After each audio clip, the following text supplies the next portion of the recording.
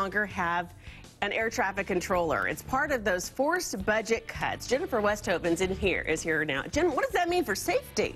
Because that's a big deal. Well, the, the pilots group says they are concerned about this. Um, it's hard to know, though, because there's a lot of negotiating going on Okay. here. Uh, but these, these are 238 airports that got letters from the FAA saying they're not going to have an air traffic controller. Now, look, most of these are airports that most of us would never really see. They're used by corporate jets, military jets, but starting in April, they could either close or they're going to let the pilots choose who turns where and when. Now, some airports already do that, but these generally have a little bit more traffic. That's why they have air traffic controllers there.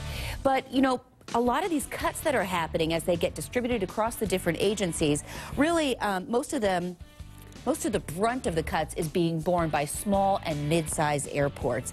Um, now, they are going to feel it a little bit at the big airports too, but not nearly as much. The FAA is taking pains to keep the very busiest airports from feeling it because that could slow down everybody. But at those bigger airports, people still are probably going to have to take off about two weeks in total between now and the end of September. That's about one day every two weeks. I'll tell you this, though. That's the sequester. What an ugly mess. But the next big Washington money conflict, they're working on averting that.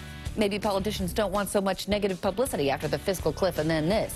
On March 27th, though, the federal government would have run out of money. It was a big deadline. But the House passed a stopgap bill to fund things. The Senate and the president are expected to basically follow suit and agree to that. So that's a sort of calamity averted. All right, are you looking for a good price on something you want? Well, you can just take a picture with your phone. Here's how in the connection. So maybe you're traveling and you see this special something in a little boutique and it is so perfect.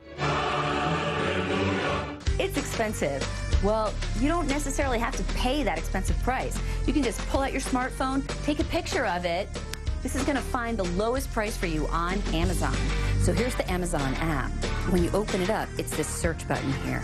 You can just take a picture of anything you have, and you could scan it, but let's just say you've got a DVD that you want. You just go ahead and take its picture. Can you come and push the button? And then look at that, it gives you the cheapest price. So in this case, you can get it used someplace for a quarter. I'm sure shipping is more than that, but still, that's a darn good price. Apps these days make it so easy for you to buy things in a way really different. And especially with a service like Amazon, it just gets shipped right to your home. Obviously, that was a different day. I'm wearing different clothes there. so we did try it out on some different things like toys, and it works on both Android and also on the iPhone. Natasha, back to you. All right, Jen, thank you. Okay, can you say obsessed when a ref called a foul? A fan called